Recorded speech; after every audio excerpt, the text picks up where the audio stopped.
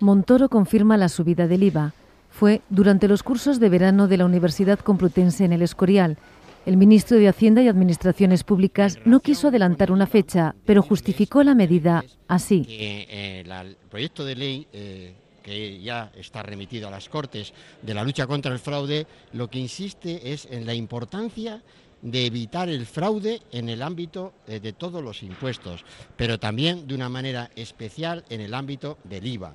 Hay que erradicar en España esas prácticas de economía sumergida impropias eh, de un país desarrollado. Confirmó también que estudia aumentar las horas de trabajo semanal a los funcionarios. Eh, lo que haremos es asimilar el régimen laboral de la función pública a eh, el régimen existente en el sector privado.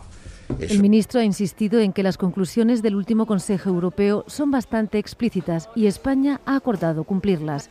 En ese sentido, se ha referido también a la posibilidad de eliminar la desgrabación por compra de vivienda habitual.